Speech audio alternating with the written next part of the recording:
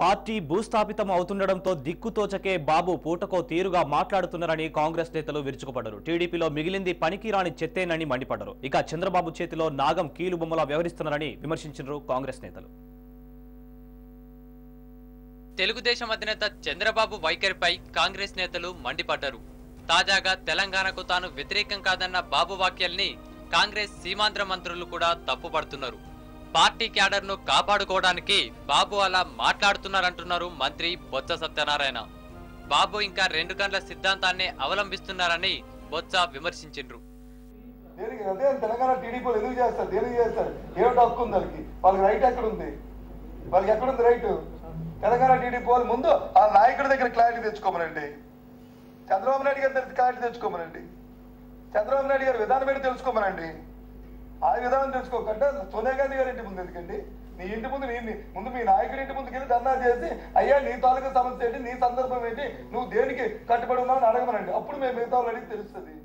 తెలంగాణపై బాబు double game నచ్చకనే ఆ party నుంచి వలసలు ఊపందుకున్నాయని ఇప్పుడు ఆ పార్టీలో మిగిలిందంతా తాలేనని ఎమ్మెల్యే రాజయ్య ఎక్కిరించిండ్రు.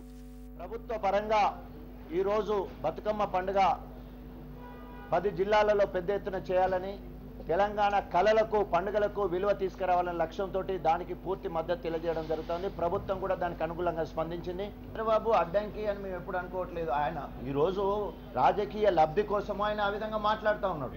ఎందుకంటే అందరు అన్నప్పుడు మనం అనకపోతే ఇంకా ఈ మాత్రం ఎక్కడన్నా అక్కడెక్కడున్న తాలు గిట్టు ఉంటే అది కూడా కొట్టుకుపోయే పరిస్థితి అనే ఉద్దేశం. ఇప్పుడు మిగిలిందే తాలు ఆయనకు. అసలు ఏం లేదు ఇంకా. టీడీఎల్పీ ఉపనేత నాగంపై పిసిసి అధికార ప్రతినిధి కమలాకర్ రావు మండిపడ్డారు.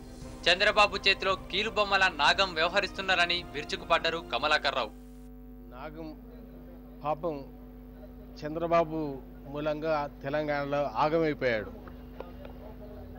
ఆయన మనసులో తెలంగాణ కావాలన్నా చంద్రబాబుతో ఉన్నాడు కనుక ఆగమైపోయి ఏం మాట్లాడుతున్నాడో ఆయనకు అర్థం కావడం లేదు.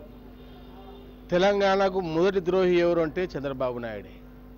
అది ప్రజలు గుర్తించారు. మొన్న ఓట్ల లోపల తెలుగుదేశంకు మొత్తం జీరో తీసుకొచ్చారు డిపాజిట్లన్నీ అయిపోయాయి.